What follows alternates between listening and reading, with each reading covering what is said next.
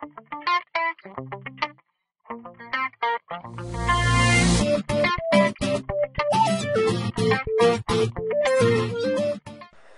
guys and welcome to this another wonderful tutorial by Helper Tuts. In this tutorial, or let's just say this series, we are going to create a wonderful comment box. So let me navigate over to my comment box and you will see what I mean. So here's my comment box with submit button, text area, and name field. And it's also going to display our comment box and let's just comment uh word out. This is a great comment box. And we can comment it out as you can see we have a comment box and problem with most comment box that I have seen is when you reload the page they tend to duplicate because they tend to insert in the database. So let's try this one. A reload is not going to do that because I fixed the error. I'm going to show you how to do that. And sometimes if I delete this user and reload the page and there's, well, let me just, un can't really undo that. So let's just type that comment back in. This is a uh, comment box. Comment that. The second one's going to be helper tuts This tutorial is also great.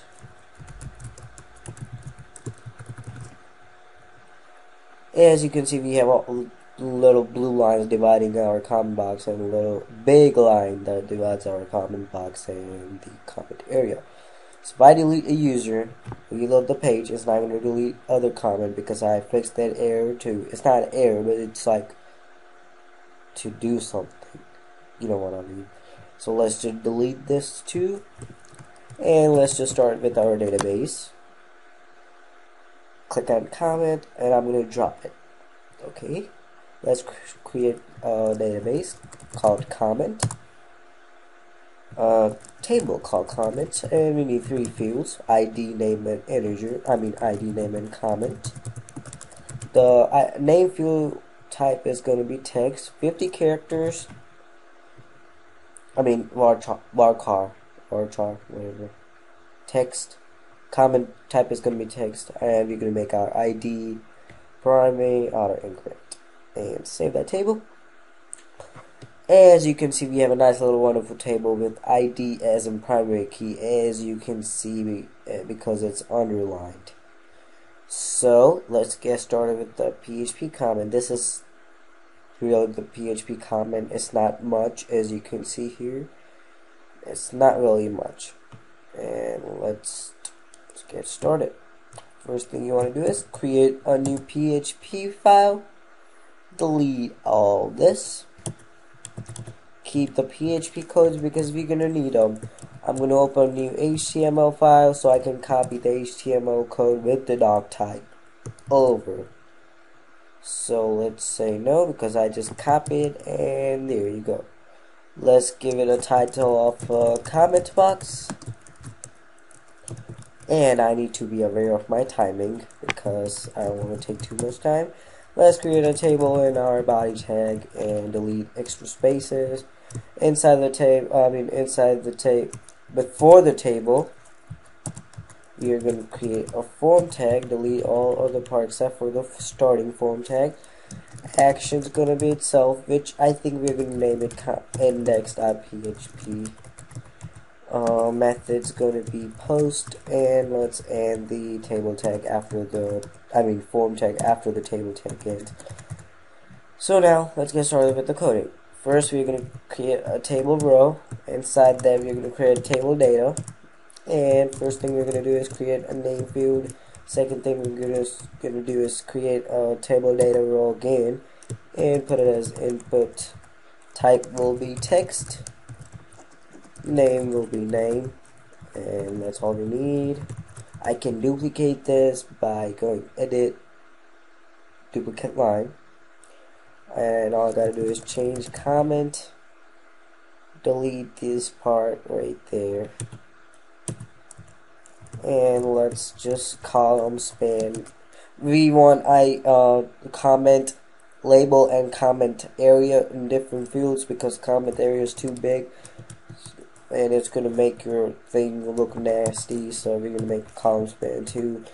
You're going to duplicate this line again and I don't know the shortcut for you guys who wants to who wants shortcut every time but help you out.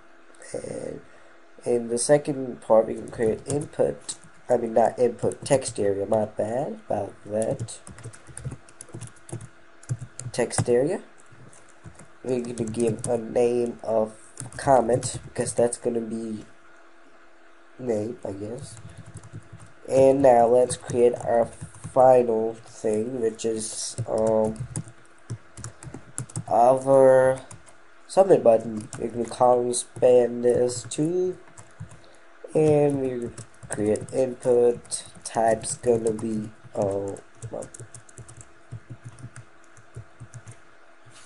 type's gonna be submit name's gonna be submit and value's gonna be comment let's save this real quick in my helper tuts folder. Comment.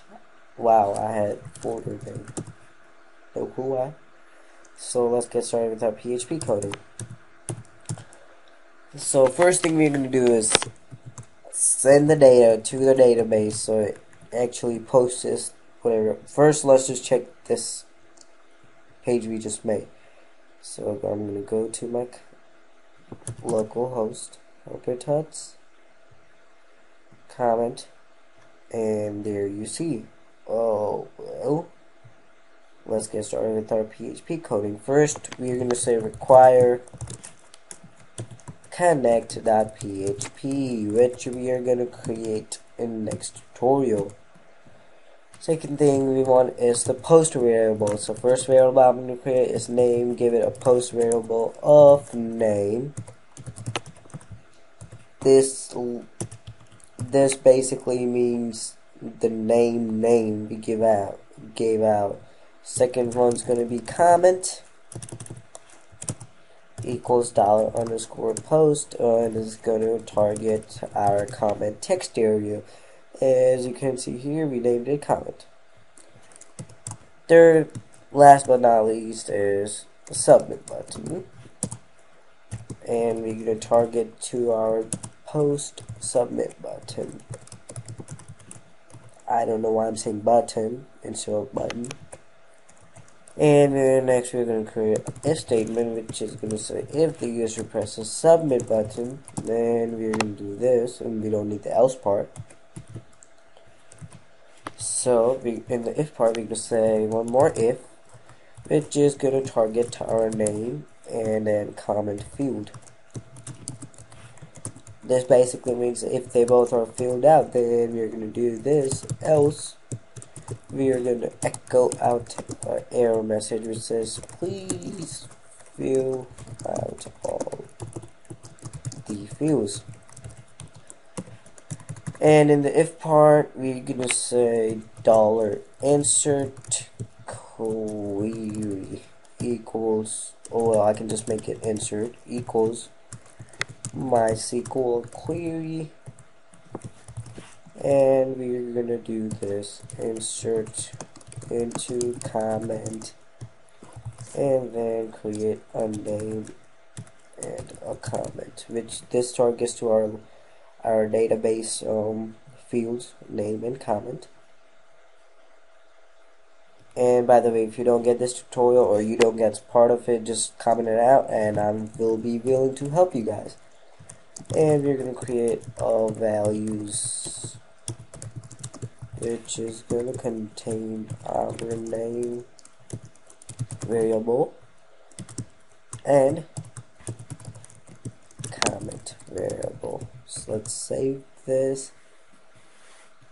And we still have five more minutes, so let's go to this. Uh, well, let's create our new page, which is going to contain our MySQL Connect information. First thing we're going to do is create a connect function which is MySQL connect first thing is your local host or whichever host you use. Second thing is password, uh, username, and last thing is password. By default, mine is blank. Then we're going to select our database, which is MySQL select DB, and our database was comment.